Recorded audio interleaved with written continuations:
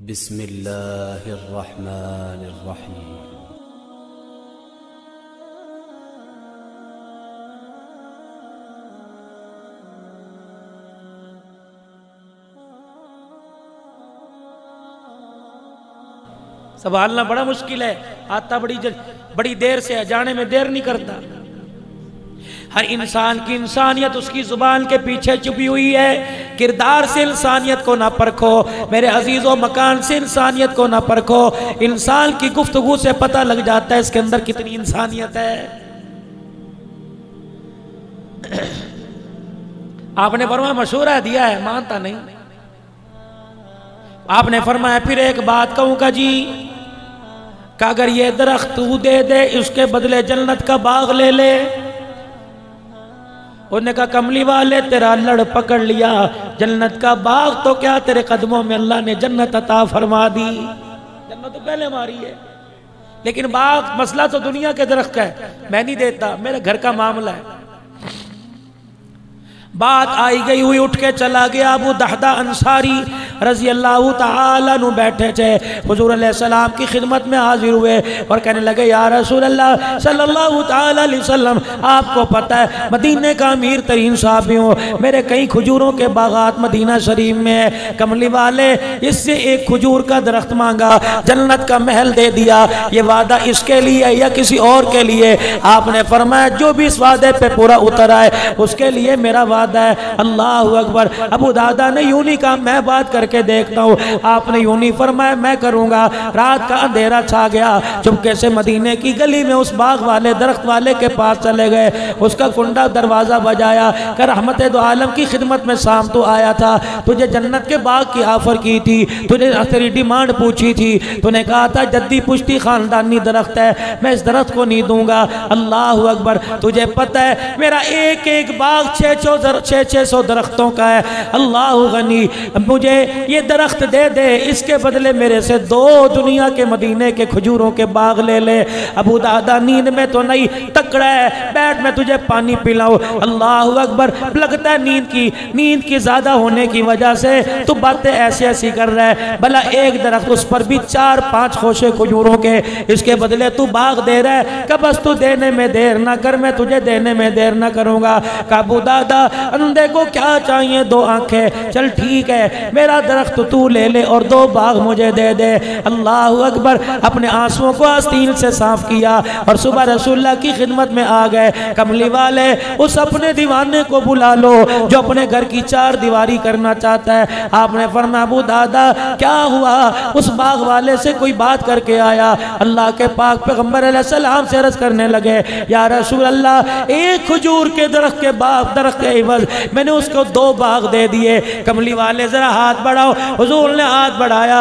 अल्लाह के पाक पैगंबर का हाथ पकड़ लिया। आपने अरज करने लगे, कमली वाले, जो उसके साथ वादा था, आज मेरे साथ पूरा कर दीजिए। नबूवत की आँखों में आँसू आ गए। फरमाया, अबू दादा तो दुनिया के बाग दे आया। मैं मोहम्मद जामिर बन गया। अल्लाह ने तुझे जन्नत का महल अता फरमा दिया। ज़ाहिर में तो एक खजूर का दरख्त नज़र आया, लेकिन मेरे अजीजों बदले के अंदर जन्नतुल फिरदौस का वादा हो गया। और सुनो, हमारे पास बाग कोई नहीं, हमारे पास दरख्त कोई नहीं, मेरे पास कारोबार नहीं, जक़ात, फ़र्ज़ कोई नहीं। क्या करूँ? फरमाया, गर्मी का मौसम है। अपने घर में चाय पीने वाला प्याला ले ले। गर्मी का मौसम है। सालन वाली प्लेट ले ले। गर्मी का मौसम है। आटा गूंदने वाली छोटी सी तगारी ले ले। अगर ये नहीं मिलता तो टूटा हुआ गिलास ले ले। टूटा हुआ प्याला ले ले। सुबह सुबह ठंडा पानी, ताज़ा पानी भर कर दीवार पर रख दिया कर। चिड़िया पानी आएगी, प्यासी आएगी। तेरी दीवार की मुडेर पे पानी देखेगी। एक घूट उसकी चोंच में चला गया। खुदा की कसम हौजे कौसर का वादा हो जाएगा। जो सुभान सुभान यकीन जानो, अल्लाह वाले को किसी को कश्फ हो या किसी का दिल का तार उनसे मिला हो और कहना, अल्लाह मुझे ख्वाब में दिखा दे, हाजी साहब को तूने किन इनामात से नवाजा है। और फिर हमारी नस्बत ही बहुत ऊँची। हम किसके उम्मती हमारा नबी कौन? मोहम्मद पढ़ दो सल्लल्लाहु अलैहि वसल्लम। किसी रिकॉर्डिंग वाले ने रिकॉर्डिंग नहीं की। आपने भी क्या पढ़ा? क्या पढ़ा? क्या पढ़ा? फिर क्या पढ़ा? यहाँ से जाओगे, भूल जाओगे। ना कोई हाजी शबीर साहब आएगा, ना साले सवाब के प्रोग्राम में आओगे।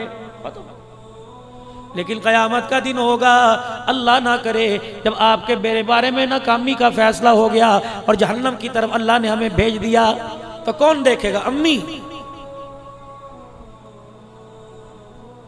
अब्बू, रिश्तेदार। यौम यफिरुल उमिल अखी व उम्मी व अबी व साहिबती ये तो पास ही लगने नहीं देंगे। अल्लाह भी सच्चा, अल्लाह का हबीब भी सच्चा, राव साहब, अल्लाह का कुरान भी सच्चा। लेकिन ये पापी मानता कोई नहीं कि जो माँ नौ महीने उठा के फिरती हो, वो कैसे पहचानने से इनकार करेगी? लेकिन अल्लाह की बात सच्ची, अल्लाह के हबीब। होगा तो ऐसा होगा। दुनिया। हाथ उठे इलामीन तेरा कुरान सच्चा ये मानते कोई नहीं। ऊपर ऊपर से मानते हैं, अंदर से कहते हैं, जो बीवी एक भी स्तर पर तीस साल सोती रही, वो कयामत के दिन कैसे नहीं पहचानेगी?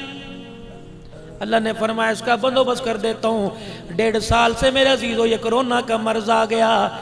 जिसके इलाके में, जिसके घर के अंदर कोरोना हुआ, बेटे को कोरोना हुआ, बाप कमरे में जाने को तैयार नहीं। बाप को कोरोना हुआ, बेटा कमरे में जाने को तैयार नहीं। बीवी को कोरोना हुआ, शोहर जाने को तैयार नहीं। एस ओ पी इसके तहत दूर से पकड़ा रहे हैं, मास्क लगा रहे हैं, सैनिटाइजर लगा रहे हैं। अल्लाह फरमाते हैं, दुनिया की छोटी क्यामत जिस पे आ जाए, उसके पास जाने को तैयार नहीं। जब बड़ी क्यामत आ जाएगी तो देखने को भी तैयार नहीं होगा। कयामत के दिल कोई हुज्जत नहीं चलनी। दुकानदार नहीं कह सकता, मकान वाला नहीं कह सकता को लोगो, कोई भी नहीं कह सकता। इलामीन मस्जिद दो किलोमीटर दूर थी, कैसे नमाज़ पढ़ता? ओ लोगो, मोहल्ले में मस्जिद बनाने वालों एक एक गली में चार चार मस्जिदें बनाने वालों, क़यामत के दिन खुद ही फंस जाओगे। अल्लाह फरमाएँगे तो गुसल खाने में था, अजान की आवाज़ वहाँ थी, बीवी की गोद में था आवाज़ थी, माँ की आगोश में था आवाज़ थी, बाप के कंधे पे था अजान की आवाज़ थी, फैक्ट्री में था खेतों खिलियानों मुरब्बों में था। अल्लाह अकबर ट्रैक्टर, ट्राली पे था, मोटरसाइकिल, साइकिल पर था, गाड़ी में था। ओए मेरे बंदे, तू कैसे कहता है मैं सजदा ना कर सका?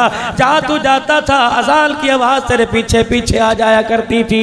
उस अजान की आवाज़ में क्या पहला लफ्ज ये नहीं था, तेरी दुकान नहीं बढ़ी तेरा कारोबार नहीं बढ़ा तेरे माँ बाप छोटे, तेरी औलाद छोटी।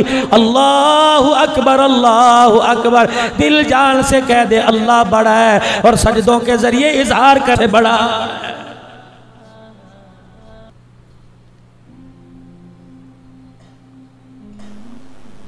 कयामत का दिन होगा। अभी आपने क्या पढ़ा? कह दो ना। हाय, मैं मर गया, इसकी आदत खत्म करो। क्या हाल है जी? बस तो भाई फिर गई, खत्म करो। क्या हाल है? अल्लाह का शुक्र। हाय हाय। ये बात बड़ी याद कराना।